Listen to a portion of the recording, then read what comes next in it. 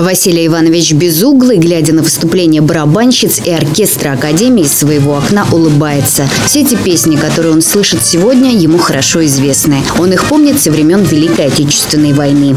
Прекрасно. Вернули мне молодость. Суровые годы войны.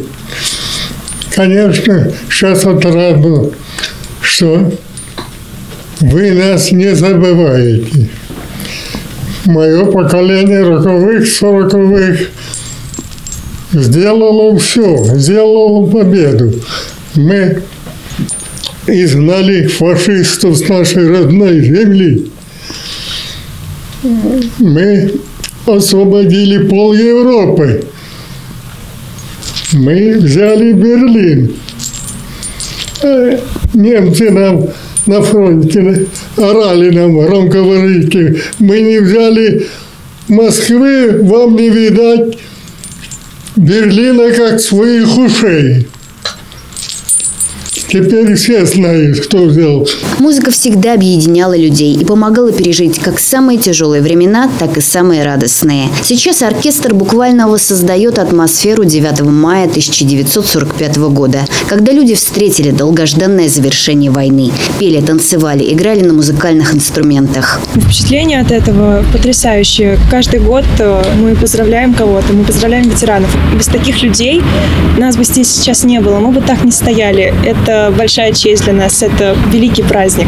Действительно, этот праздник для нас очень важен, для нашего поколения. Мы помним, чтим всех фронтовиков, ветеранов, близких и родных. В моей семье на фронт ушла моя бабушка Удалова Наталья Петровна. Она служила в 12-м зенитно-пулеметном полку, была фронтовой медсестрой, старшего, старший сержант. Ей действительно тяжело это далась война. Она пережила очень многое, прошла всю войну, после военные годы, дожила до 94 лет. Ее мужество, вера в светлое будущее, желание жить, это действительно для нас и для нашего поколения, я думаю, является стимулом и символом мужества. Я хотела бы пожелать всем ветеранам глубокого счастья, здоровья, самое главное благополучия и долгих лет жизни. Ветеранов становится все меньше и меньше. Э, у нас в первую очередь чувство безмерной благодарности, то, что и радости, то, что мы можем э, организовать такую акцию, сказать э, слова благодарности нашим ветеранам, подарить им музыку их юности.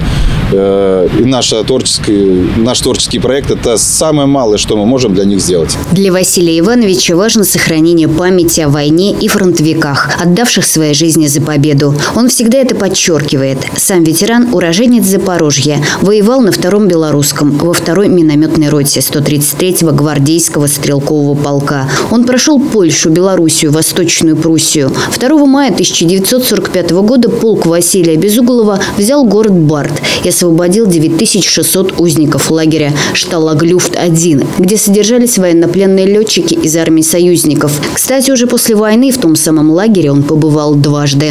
Поздравляю всех участников войны тружеников тыла, детей войны.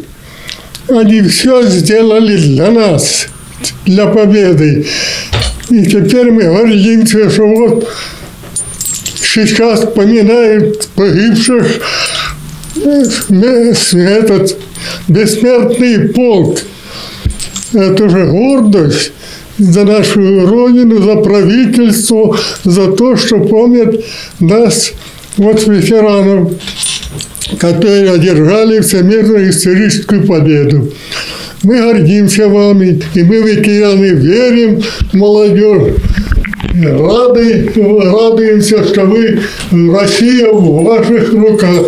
Полковник в отставке и сегодня, несмотря на почтенный возраст, готов делиться бесценными воспоминаниями. Его письма с фронта, правда, в семье не сохранились. Но 15 лет назад ветеран издал собственную книгу «Кланяюсь пехоте», которую сам автор назвал памятником солдату Великой Победы, отвернувшихся домой бойцов. Он всю жизнь искал однополчан и родственников погибших боевых друзей. Организовал три встречи однополчан-минометчиков, чтобы не терять связи с боевым братством.